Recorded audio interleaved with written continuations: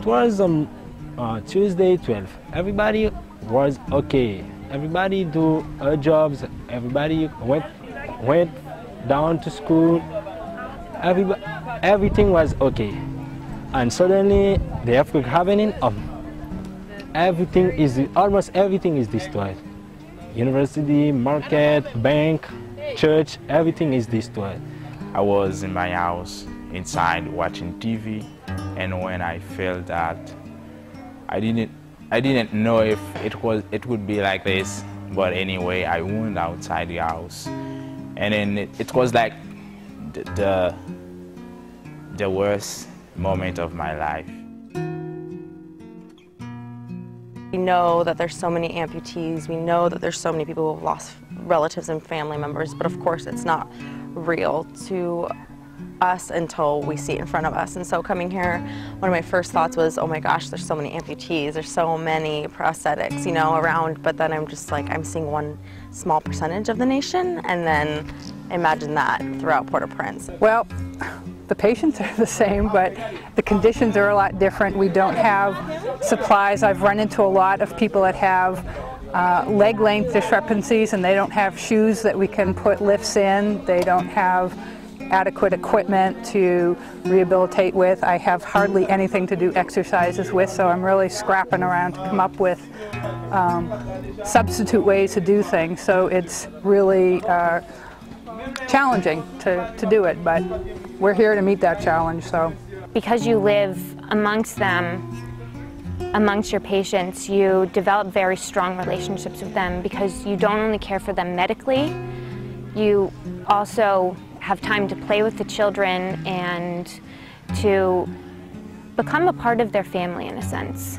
The needs right now are, are really the main survival, um, you know, food, water, clothing. There's, there's a shortage of those things here. From a standpoint of setting, it's quite different. We're outside in tents and in, you know, 100 degree, you know, temperatures with dust blowing and uh, storms coming in.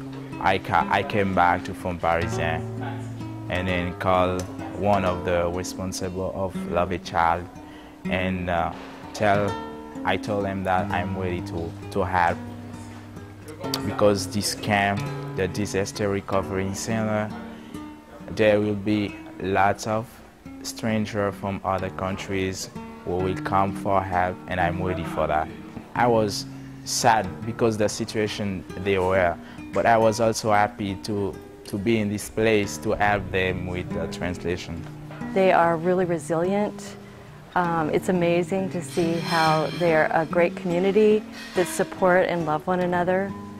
Uh, people with disabilities are not very common or accepted in Haiti, but they've really just integrated and love each other, and they really work together, especially for translation and help with exercises. You can just see a sweet community.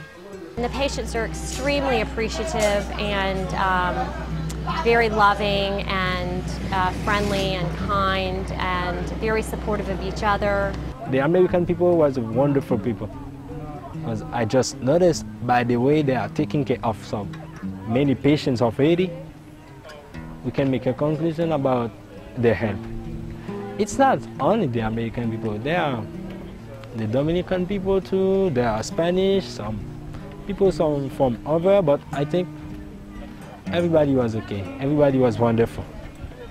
She asked if there was hope in Haiti, and um, of course there's hope, and there's a long road ahead in a lot of ways, but I was telling her that like it's a different kind of hope in a lot of ways because if something this drastic happened to a very developed city in a Western country or the United States or whatever, um, I don't know if our cultures in general would have the same sort of freedom and hope. It's been very rewarding to work with the patients and the other um, volunteers.